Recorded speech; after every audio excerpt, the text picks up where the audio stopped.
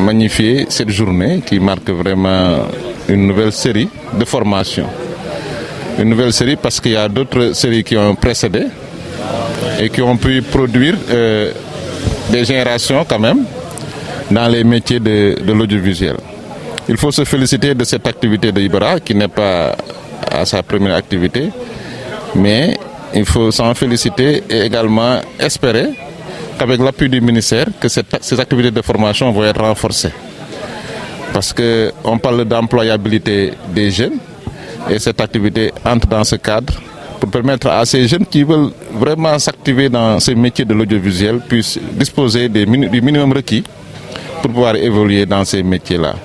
Donc c'est ce qui justifie notre présence et nous nous en réjouissons et nous souhaitons que cette activité se déroule dans les meilleures conditions et qu'à l'arrivée qu'on ait des jeunes qui sont bien formés et prêts à relever le défi quand même dans le cadre du secteur de l'audiovisuel. L'appel que nous lançons à l'endroit de ces jeunes, c'est d'être assidus quand même de suivre avec beaucoup de rigueur cette formation en ayant en tête l'objectif d'être renforcé, l'objectif d'être outillé et l'objectif aussi d'être opérationnel dans ces métiers de l'audiovisuel qui sont, qui sont des métiers qui sont en perpétuelle évolution.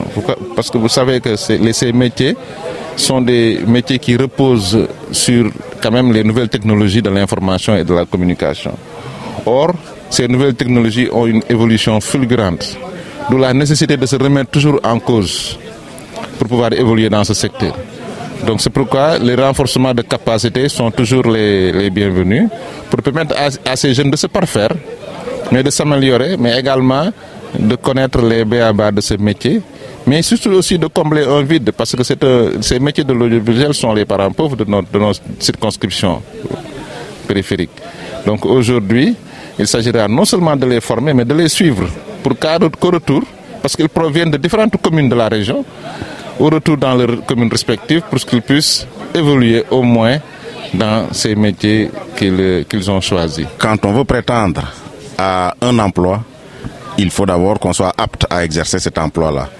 Le métier du cinéma demande beaucoup d'exigences. C'est un métier très rigoureux de façon globale. Les métiers de l'audiovisuel et du cinéma demandent des compétences techniques que les candidats doivent maîtriser pour prétendre à un emploi.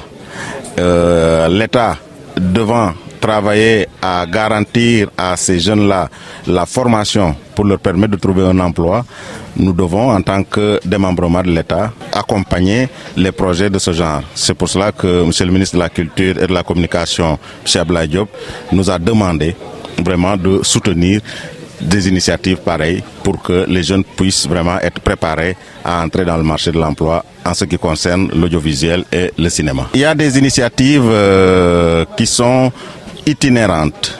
Nous avons, je voudrais citer euh, Scénario pour tous dans le domaine du cinéma, mais qui est une formation itinérante qui va dans les régions.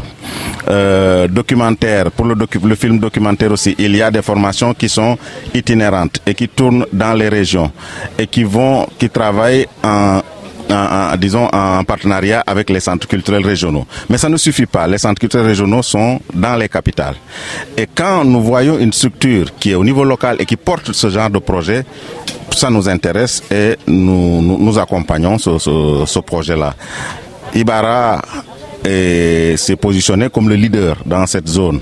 Avant cette euh, formation, beaucoup de choses se sont passées. Ils nous envoient des rapports, nous voyons ce qui se passe. Mes prédécesseurs sont déjà venus ici pour voir ce que Ibarra est en train de faire. Et donc, euh, il n'y a pas de doute que la collaboration va se poursuivre entre Ibarra et le ministère de la Culture et de la Communication pour ce qui concerne la formation, puisque nous voulons faire former le maximum de jeunes pour que nous voulons que ces jeunes-là soient aptes à, à, à, à exercer ces métiers-là.